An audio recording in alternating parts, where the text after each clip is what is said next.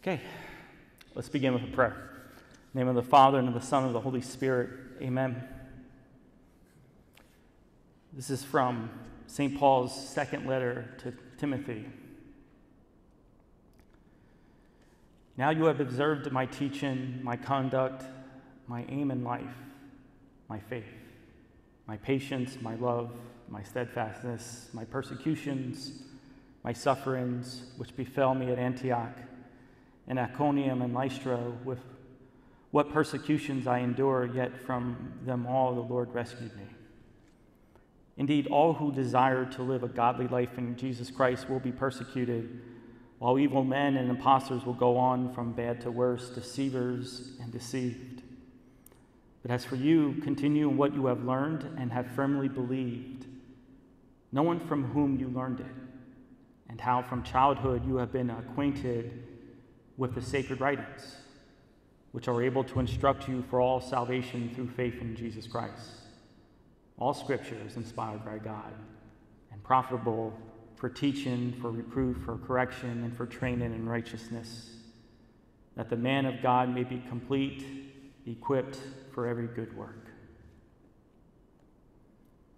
Glory be to the Father, and to the Son, and to the Holy Spirit as it was in the beginning, is now, and never shall be, world without end. Amen. St. Catherine of Siena, pray for us. name of the Father, and the Son, and the Holy Spirit. Amen. Okay, well, welcome. Welcome to our first session. Um, while the book that we're going to cover is the book of Genesis, the theme, the theme is going to be covenant. Father Kunin and I, well, first of all, also welcome to those watching on YouTube as well. Uh, you know, that type of thing. Again, I'm not very good at this, but, uh, but anyways, let's go to the story I was going to say here. It's realizing how much Father and Kunin and I were kind of boring people, you know, because we're talking theology and spirituality stuff, especially last night. And, you know, we were saying how a lot of Christians and a lot of Catholics out there, like, they see this faith as solely just not doing bad things. Like, that, that's like, you, tell them what it means to be Catholic, and it's like, well, you know, I'm a good person. I don't kill people. I don't steal. You know, and then Father Kuna added, yeah, and then some people also, they just see this faith as going to Mass so that they don't go to hell. you know, like that's it. So just imagine we exist. We exist, and we exist through no effort of our own. Like we came to existence from powers outside of ourselves. And for us in our faith, we say, well, yeah, God God is the first word. God, you know, willed us, you know, into existence, willed the human person into existence through his word, which we'll see, we'll see, look at next week. Willed him into existence. And then gives this human person this great capacity for love. You know, like love, love and a lack of love in our lives has a great impact on us mentally, emotionally, physically you know, like we, we, we feel horrible. We, we're in this deep depression if we really firmly believed we are not loved in this life. It's a very devastating thing to live through, but also a very, very joyful, very life giving thing when you know that you are loved and in love. And so we exist and we have this great capacity to love. And now, when it comes to our God, it's go to church and don't do bad things. I no longer want to settle there. And this is why I'm doing this. Because this, while hopefully you'll learn many things in this book, first and foremost, ultimately, it's about a God who is coming in search of us. And the number one desire of his, as revealed by him, is that he wants to enter into a covenant with you. Now, that word might not mean anything to us right now, but hopefully it will through, you know, the next seven to eight weeks. So, like I said, I have a slideshow here, and Marcy, if you want to go on it as well, um, I, again, I have to apologize. The, just the first, this first session, depending on where you're at in your faith, it might be very beneficial or might be like, okay, I already know all these things. But I had to make sure that we are all on the same page when it comes to the study of sacred scripture. But not only just the study, but also the meditation. Because again, when we look at these three points here, and again, these first couple of slides are coming right from the catechism. Okay, and again, my eyesight's getting bad here. I'm gonna have a hard time seeing these words, so I'm gonna bring it up here on my phone here. But sacred scripture ultimately, first and foremost, is the Word of God, but expressed in human words. The Word of God expressed in human words. And so, Scripture is going to be a work, first and foremost, of God, but also in cooperation with God, the work of the human person. Scripture is very incarnational.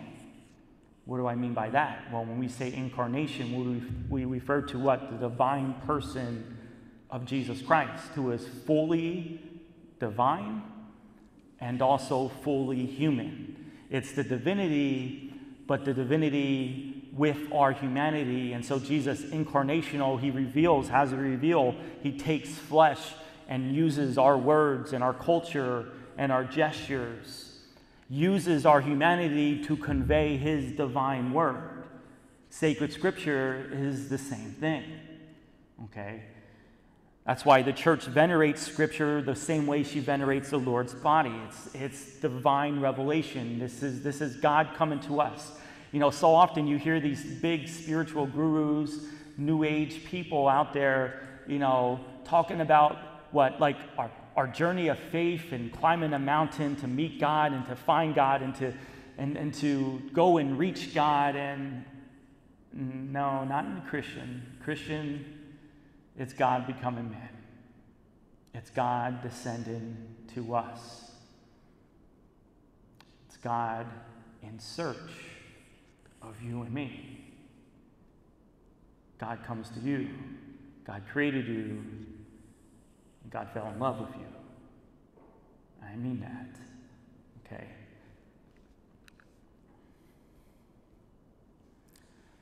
And so again, again, just preliminary stuff here, okay? Preliminary stuff here, but it's important. Inspiration. When you think of inspiration, what do you think of first and foremost? Like, like how do we picture when we say the books are inspired, the human writer is inspired by God? I bet you many of you come and you have this vision. You know, if you were to imagine what that would look like, that it's in your minds the, the voice of God saying, Matthew, Matthew, Write this down. Or an angel appearing to Luke. Luke, here, grab a pencil, write down what I'm going to tell you. You know?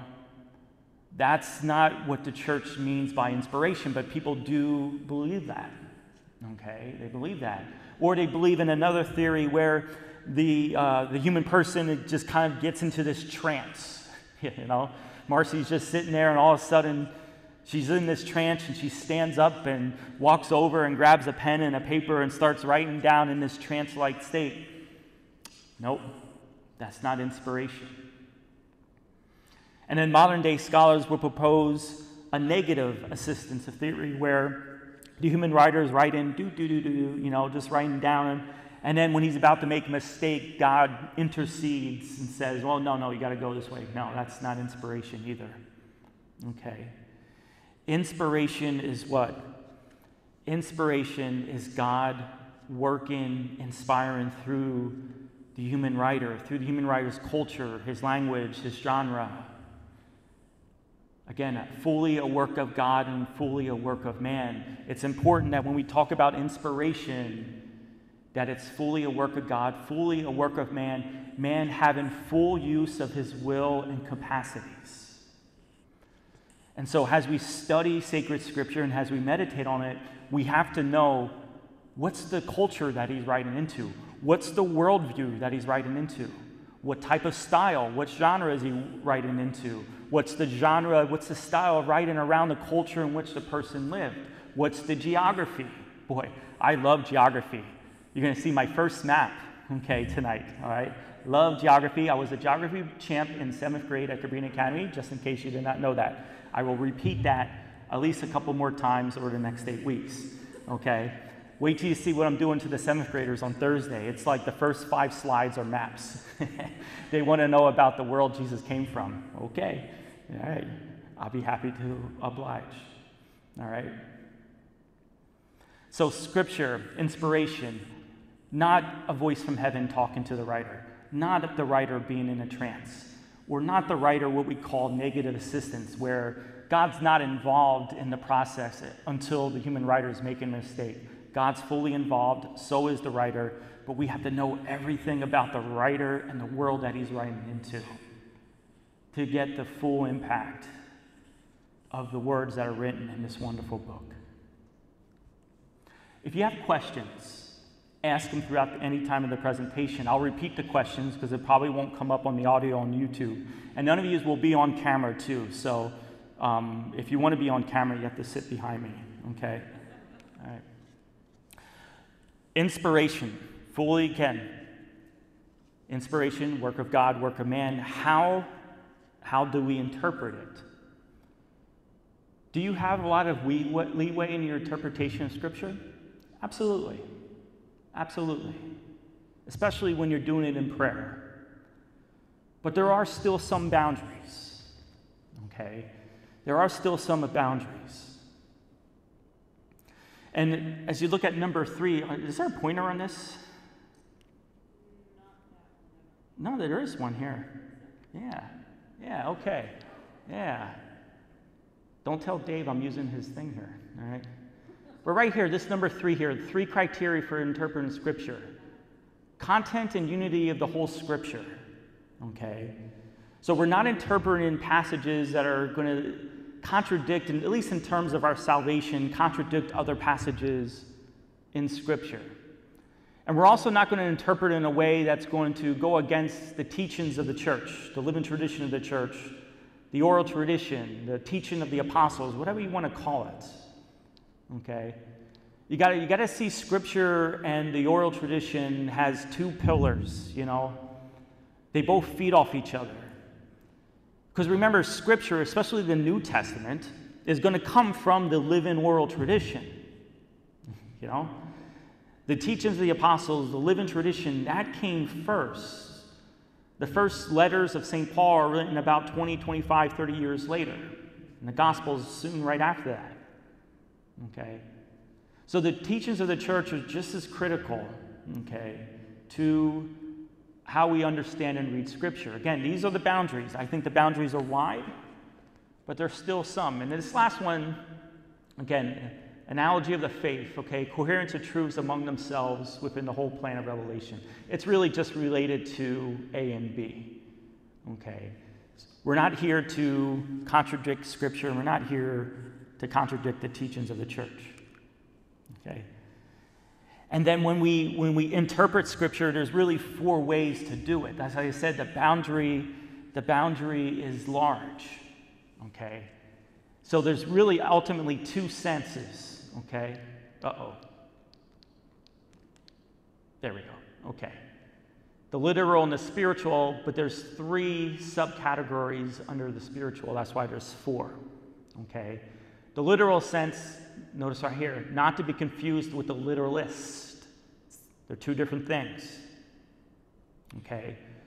Literalist sense is going to ignore the genre, the culture, the author, the intentions of the author. It's going to ignore all those things and just read the words at face value. Okay? A literalist sense. We don't do that. Okay? The literal sense is what? Studying the author's intention, style, background, culture, genre, and many other things. Okay? We're going to look at the literal sense. What is the author trying to tell us? Because what the author is trying to tell us is also what God is trying to tell us. Again, scripture incarnational. But then you can also go into the spiritual sense allegorical, moral, and anagogical. Okay? The allegorical sense is going to, especially in terms of the Old Testament, interpret things in light of the person of Jesus Christ. I'm going to give you an example. Okay? I'm going to give you an example in the next slide of how to do this. The moral sense is going to understand Scripture in terms of how we should act. Okay? And the anagogical is going to interpret Scripture in terms of what one's personal end destiny. Okay? So here's the passage. The passage, and hopefully you guys might be familiar with this. If not, we'll cover this in the spring. The passage is the book of Exodus. And the passage is the crossing of the Red Sea. Okay, so Moses is leading the people down. There's the Red Sea. Moses raises his hand. The Red Sea parts. They cross, reach to the other side. The waters collapse on the Egyptians. Okay. Anyone out here? How would you interpret that in the allegorical sense? That is, relating that sense to the person of Jesus Christ. Where is Jesus Christ hidden in that passage? Think of your knowledge of him in the New Testament. Give us a shot. Go ahead. Very good. Slavery to freedom, right? The crossing of the Red Sea is what is the definitive moment where the Egyptians are no longer slaves, but they're now free people and they're children of God through the waters of the Red Sea. Slavery to freedom, and that's exactly what Jesus does, and he talks about it in the gospel passage, right? Slavery from sin to freedom as beloved child, sons and daughters of Jesus Christ. Excellent. How about moral? You know, how we should act. Okay, I got one. How about trusting in God? Trusting in His Word. Because there was a lot of reluctancy when they got to that sea, right? A lot of grumbling, a lot of complaining. You know, a lot of lack of trust against, against God. So, how should we act? What? Putting our faith in God and His Word. Anagogical. Again, from Egypt to freedom, what's our destiny? Heaven. From this fallen world to the right hand, the right side of God the Father. That's where we're moving. And how do we get there? We get there through what? Through the waters of baptism. If you're familiar with the Easter, Easter Vigil text, okay, and that's just the, the Passover and crossing the Red Sea up in there. But you know, the Passover events, uh, uh, the Easter Vigil talks about, and mentions when we do the baptism, mentions about one of the symbols of baptism is what? Is the crossing of the Red Sea. Okay.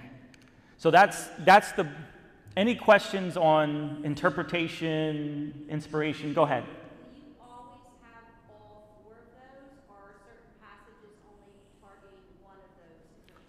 Okay, so I would say you can, you can read each passage and try to find something with those four senses. Some might be easier than others to do that, okay? Some there might not really be, you know, if you're if you're reading something minute, I'm trying to think of like a very insignificant passage in the Old Testament. I'm having a hard time doing it because there really isn't many. You know, even believe it or not, even like the boring genealogies have some deep Christological impact. you know, they really do. Um, the genealogies, also in terms of morality, you look at the genealogies, you can spot who are the good ones, who are the bad ones, you know, those types of things.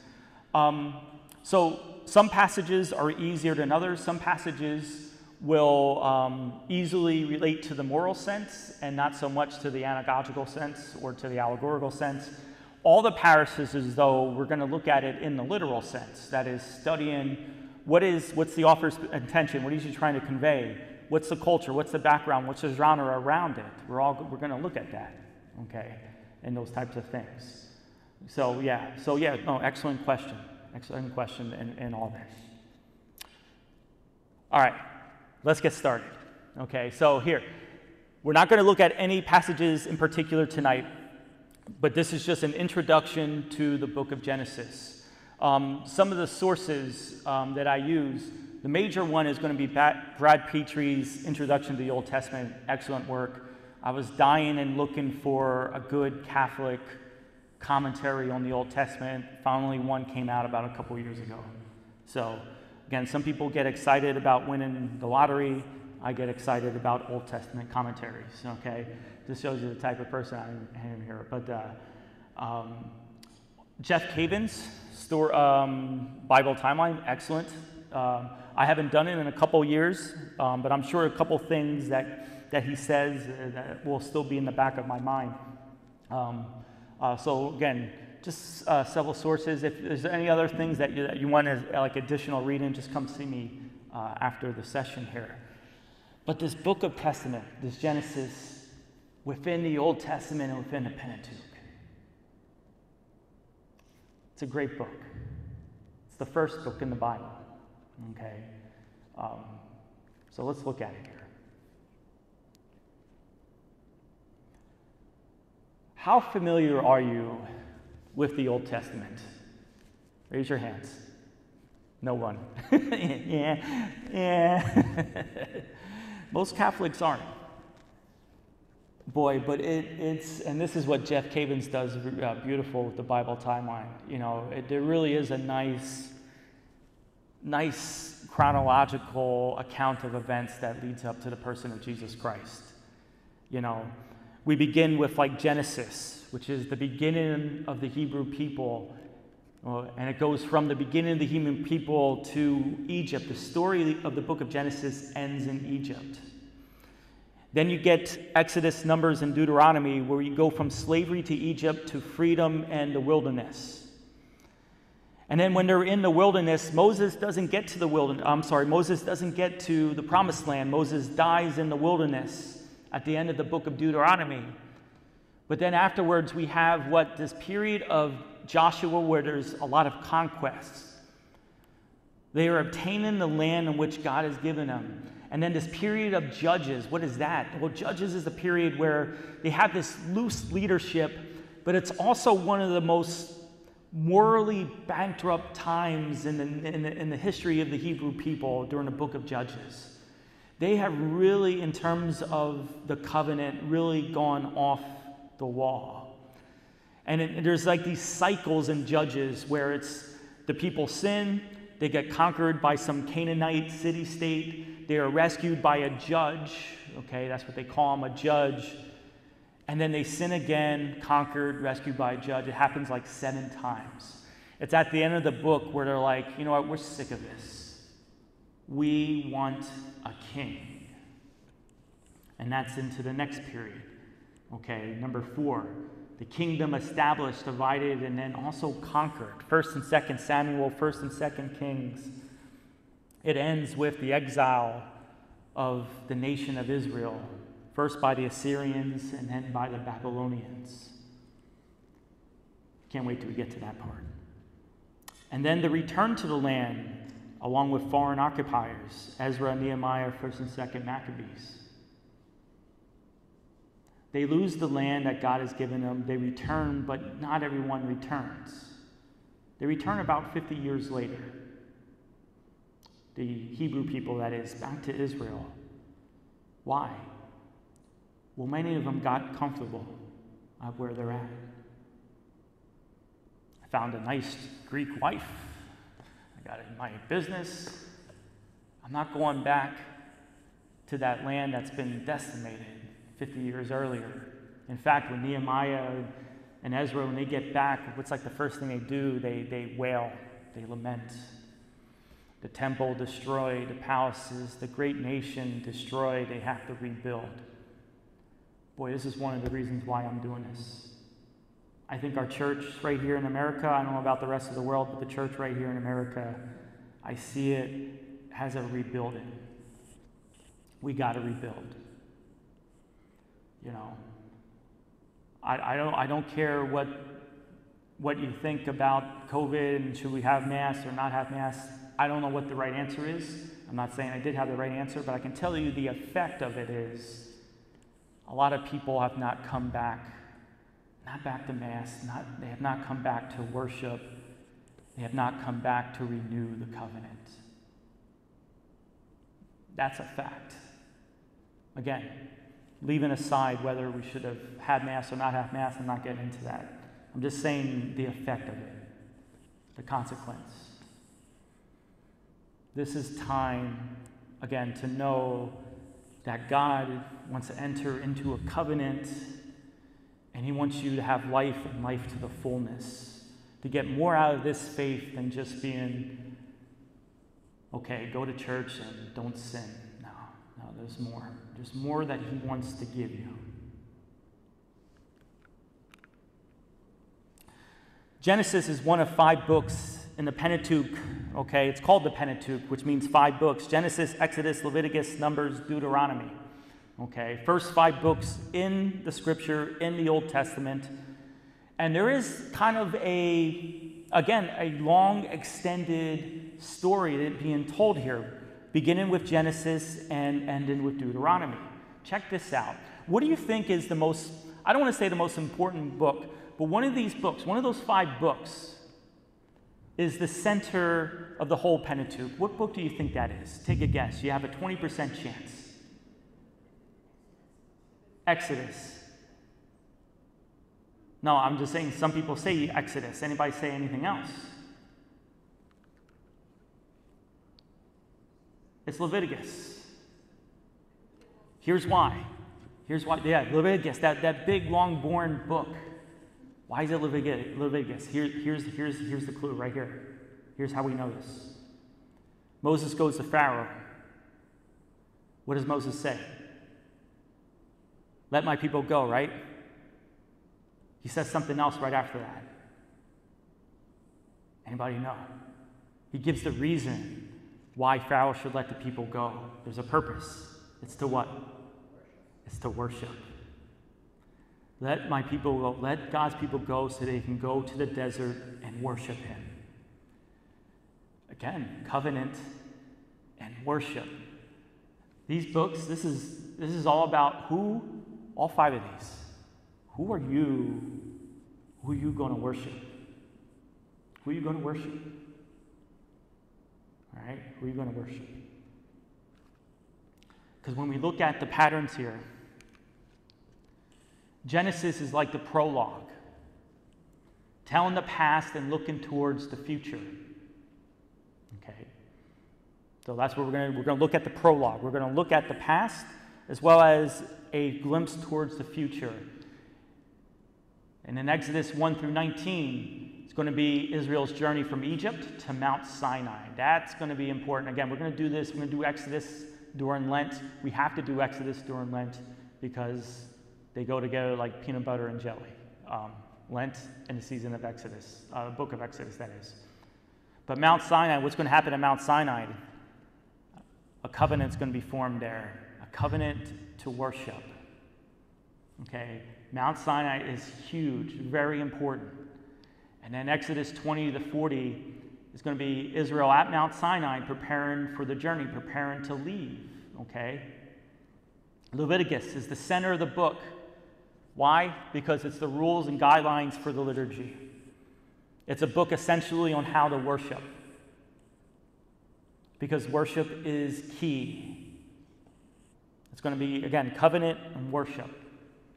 And then when you get into Numbers, book number four, verses 1 to 10, it's going to be Israel at Sinai preparing to leave, okay? And then um, 11 to 36, they're going to head towards the plains of Moab. They're going to get very close they're going to get very close to the land. Do you know the story? What happens? What happens when they get close? They send some scouts into, into the land to check it out. I think they sent 11 of them in there. What happens? What's that? Yeah, they're scared. Okay? They're, they're reluctant to go. Why? Because they look scary and fierce. And, and God has led us here to die. It's only Joshua and one other person who are like, no, with the help of the Lord, we can take them. We can take them. With the help of the Lord, you can do anything. With the help of the Lord, you can even say to this mulberry tree, be uprooted and be planted into the sea. You remember that passage? Oh, well, I don't remember that. That was, that was Sunday's gospel reading, okay? All right. Sunday's gospel reading, if you have a faith the size of a mustard seed, You know? Boy, that, that was that was my retreat. Was, I didn't know that was even the gospel passage until the end of my retreat. That was my whole retreat. Because I, I have a litany. My spirituality is pretty much I have a litany of things that I'm whining and complaining about to God. And God's just like, just, just trust. Ask for the impossible, you know. Ask for the impossible and all that. So, what happens though, they come back, they convince the people that going to this land was a terrible idea. And the people rebel against Moses, and what happens? They remain where they're at for another 40 years. That generation, including Moses, does not get to go in because they're not ready because of their very small and lack of faith. They're not ready to get into the land. So that generation has to die and a new generation comes in. And that's where the book of Deuteronomy comes into play. It's like the epilogue, looking towards the future, recalling the past. But Deuteronomy is one big covenant book. It's like, it's all about God presenting to this new generation, okay, the rules and regulations of this, again, of this new generation of how they should act in this new land. Okay. But we're going to see that this covenant in Deuteronomy is going to be different than the other covenants. It's going to treat Israel more as a vassal state. You know what a vassal state is? It's when someone bigger, a nation bigger, comes in and says, Hey, you small, little, scrawny nation, you know, give us some cash and we won't destroy you and we'll protect you.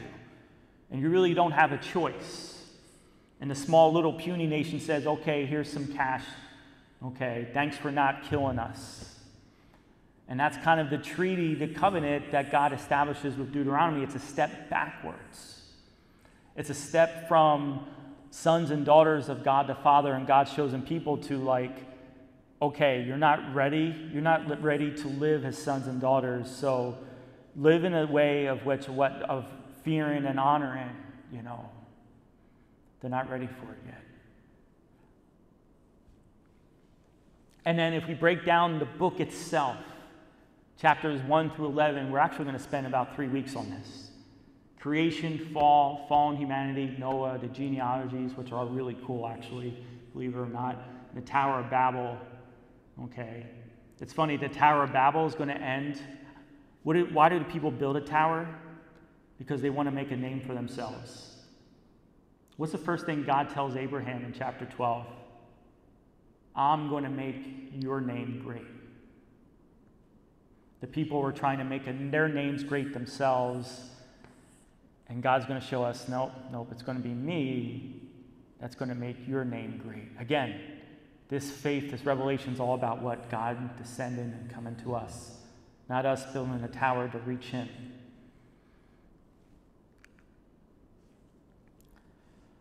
Okay. A couple more things. This is try to remember these last three slides as we move into the text next week.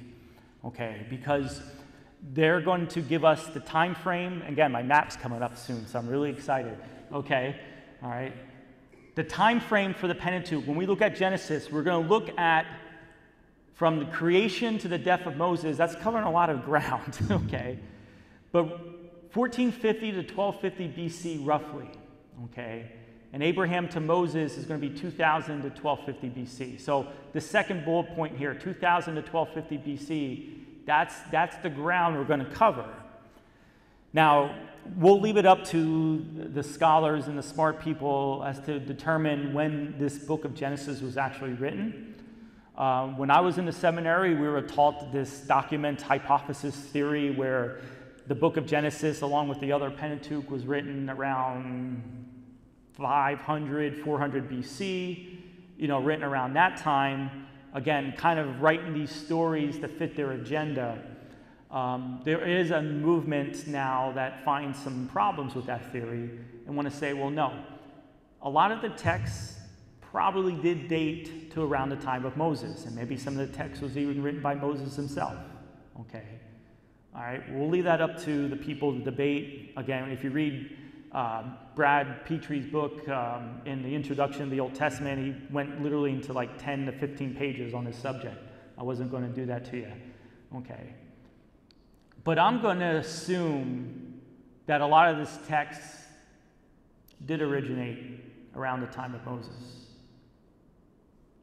You know, and that also that these ancient people had a better sense of oral tradition and oral history than we do today.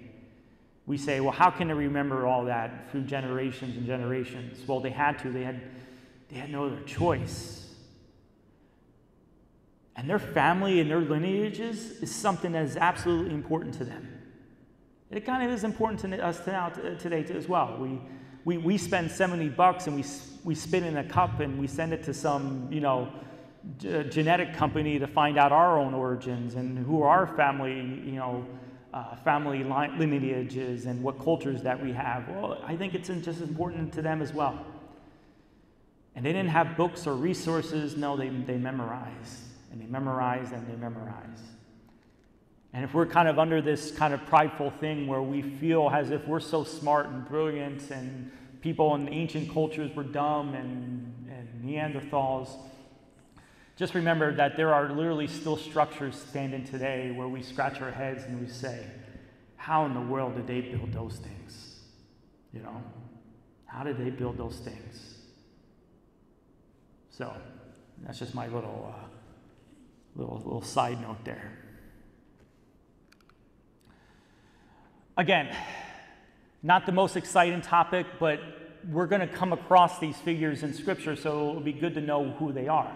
Okay, these first two, the Sumerians and the, uh, the, Akkad, the Akkadians, okay, probably butchered that name.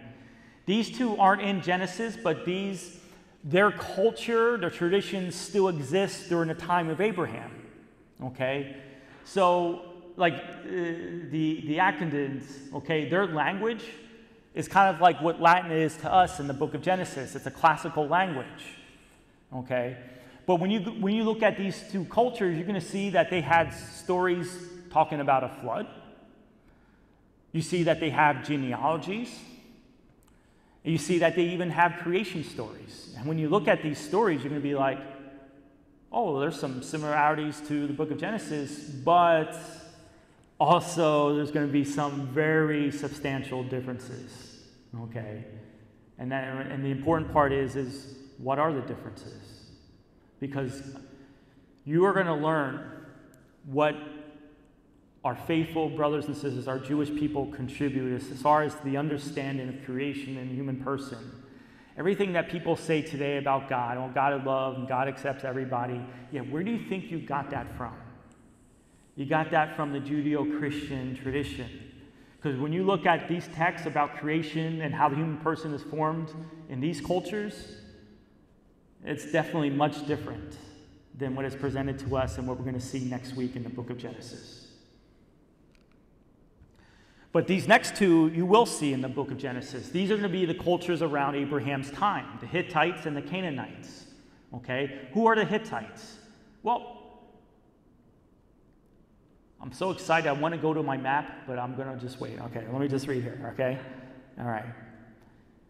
Hittites, 1800 uh, to 1200 BC, they are European. Okay, they come from the northwest. Okay, so again, when I show my map, I'll show you where they come from. Okay, a lot of their empire stretches down into modern day Turkey and into close to Syria. So, in fact, when Abraham, I believe when Abraham wants to bury his wife Sarah, he buys some land. Who does he buy him from? Buys them from the Hittites, okay? Because they're one of the world powers. They're in charge during Abraham's time, okay? They're going to have ritual tests and laws that resemble the priestly laws in the Pentateuch. So when you know what their priestly laws were, okay, it's going to have a better appreciation as to our own priestly laws that we see, especially in the book of Leviticus. And they also have texts that shed light on covenants. So when we look at Abraham, and when God tells Abraham to get a, to get a heifer, to get a goat, and to cut it in two, we're like, wow, that is so weird and disgusting. But to a person reading it in, in Abraham's time, or to an ancient person reading the text, when they hear those words, they immediately go to what? Oh, a goat cut in half. Oh my goodness, God wants to form a covenant with Abraham. Like, like the ancient reader will immediately pick up on that. Today we look at it and we're like, ew, that's disgusting. okay, why is he doing that? That poor, harmless, innocent animal. Okay, but the ancient covenant. Wow. God wants to form a covenant with Abraham. Hmm. Canaanites. Not a nation, but a collection of city states. Okay, so what's a city state? A city is just like a, like a city that has its own governance. Okay, so it's kind of like New York City being its own country or Philadelphia being its own country. That's what the Canaanites were. They weren't like a collective group of people, it was just these sporadic groups, these sporadic cities all over the place in the land of Israel. Okay. They often were fighting with each other. They have various pagan beliefs, including, including the chief god, uh, uh, god is Baal. Okay, get used to that name, B A L L. All right. Um, and the gods of the Canaanites were often violent and sexually perverse. And the heart of the Israelites are going to have a hard time leaving these Canaanite gods. They, they, they can't give it up. That's going to be, we're talking about we each have our own weaknesses in life. The weakness of the Hebrew people in general is that they just can't seem to leave those foreign gods behind. And it often happens when? When they're in trouble, when there's a trial. And instead of abandoning themselves to the living God, they, they go to the foreign gods. And we might look at them and say, oh, wow, how could they do that? They're so stupid. But I guarantee you, if you look and search long and deep enough, we do the same thing. What are the foreign gods we go to in our trials? Could be like our own pride, like, okay, I gotta, I gotta take control of the situation. It could be something material, something pleasurable, whatever it is when we're stressed and anxious and when life is weighing us down? Do we abandon ourselves with empty hands to the living and true God? Or do we what? Do we go to the run to the foreign Canaanite gods? Something to explore. But we're just as guilty as they are, I think, if we look long and hard and deep enough. Yeah, all right. Okay. So I took a picture of Google Earth which is my, probably my favorite app on the whole computer there. Um, if you ever explore, they have a button that looks like a dice. So you just hit the button and they just take you to a random place in the random world. It is so cool when you're bored, okay? You know, like just seeing things and uh, all these things. So I drew some lines which might be hard to see here. Um, let me, this is the world, this is the Genesis world right here, okay? So you have these two blue lines here. They should probably also run all the way down here to the sea here. These are the two rivers, the Tigris, uh, Tigris and the Euphrates. Okay, these are the two main water rivers that make up this whole region called Mesopotamia. Okay, Mesopotamia means the middle rivers, I believe. I could be wrong on that. Okay, um, if you know anything about ancient history, um, wherever there's fresh water, that's where you're going to have the civilizations. Okay, so you notice like this brown stuff here. Okay, nobody's, very few people are living here. And I would probably even say today, few, very few people are living here. Okay, very dry, barren, no water. Okay, but here, you see this green line here? This is where there's water.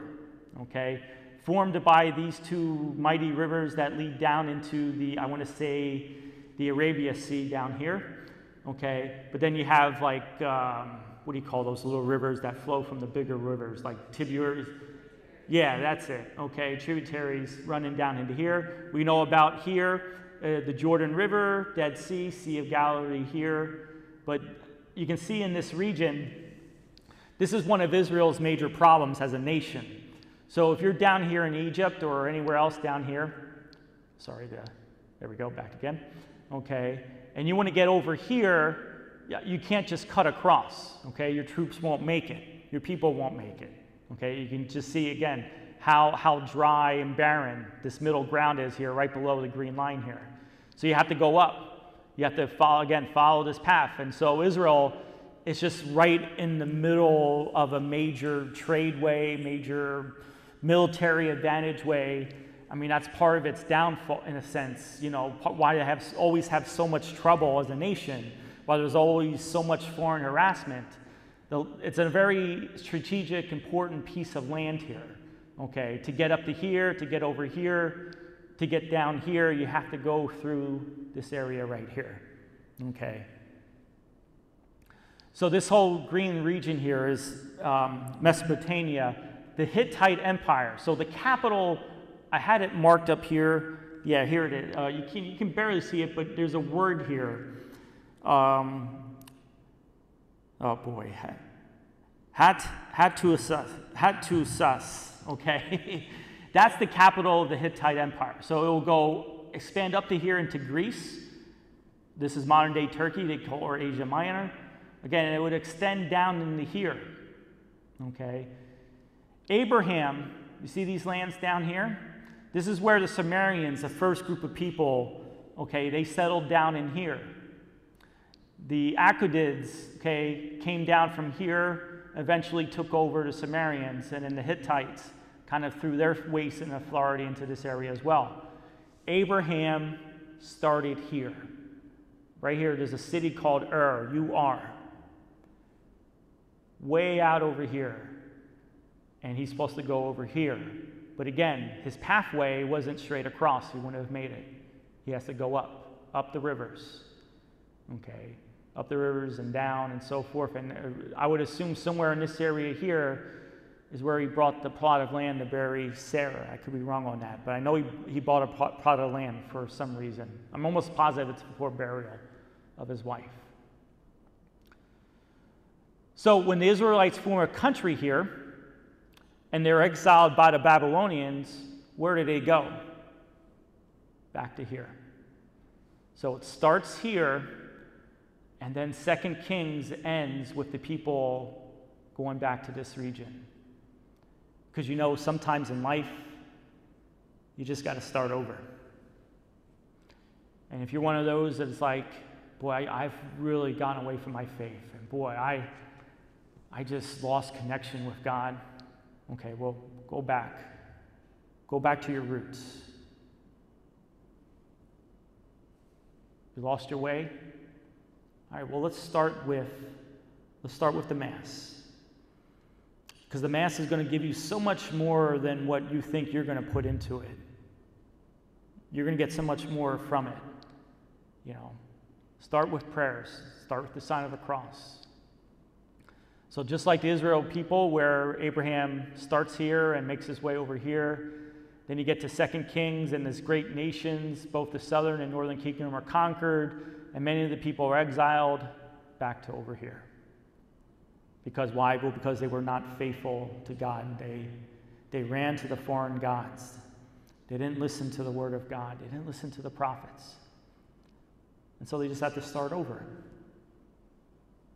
One of the things that you're going to learn is even as we break the covenants and as the people break the covenants and we think God is punishing them and God is this angry, vindictive God, really it's more, it's more that God's also merciful Think about this. We'll talk about this next week, so I'll give you a little, little thing here.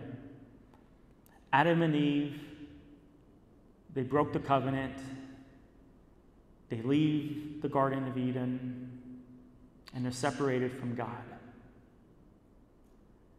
And death came into the picture for them eventually. And again, you think, well, wow, they, they, they ate an apple, and God's so mean that, that they're going to die. But you're thinking of it the wrong way. Think of it this way if they didn't die, and that is they lived forever, and they had this immortality to them, that means they would live forever as separated from God. You see, death is both an act of justice, but also an act of mercy. Because now that they die, now God seems to have this power to recreate You're going to see this in the first 11 chapters of Genesis. Not only does God have the power to create, He has the power to recreate. He's pretty good at it too. Last slide covenant. Main important thing here. Covenant defined as the extension of kingship by an oath or sacred family bond. Extension of kingship. So just think about this. If covenants is about what? About creating and forming families, then what in the world is God doing forming covenants with us? Boy,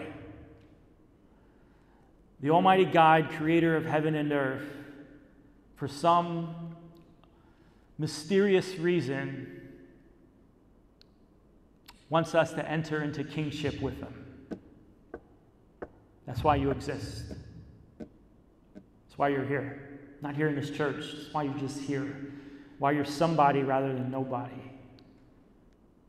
God wants to have you enter into a kingship, into a family with Him. And you didn't deserve it. And it wasn't because you're so great and cool. You are, but that wasn't the reason. Okay. A permanent way, create a family, sacred. And that these covenants are solemnized by an oath, and an oath ritualized as a sacrifice. So you make an oath and then you make a sacrifice. And gonna, I'm going to explain. I'm going to leave some things for you to keep coming back. Well, why do we need a sacrifice? Well, we'll explain that. Okay. Often a sign was given to mark the members of this covenant. Well, I'll show you, I'll show you the sign that Abraham was given. You might already know what it is. Hmm. Family meal often follows the ritual as well. Hmm. I'm drawing a blank here. Help me out here. Where else do we, as Catholics today, we offer a sacrifice and then we consume a meal at the end of it? Anybody know? Anybody know where we do that?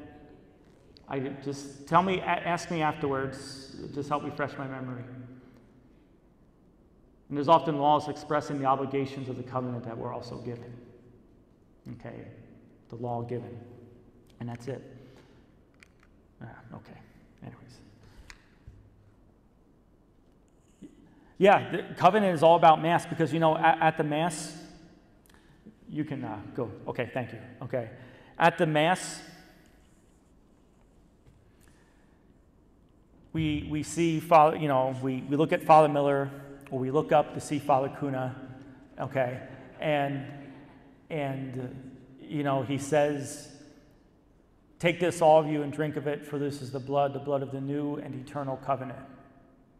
I mean, the elevation of the bread, the elevation, well, of the host of the body of Christ, at that point, that is my mistake. Okay, the elevation of the chalice, I mean, really, that's, that's the highlight. But they're also words of the covenant. And, and again, I know I repeat the word, and there's going to be so much more that's going to be said with this. It is going to be, hopefully, for you, the most important thing in your life.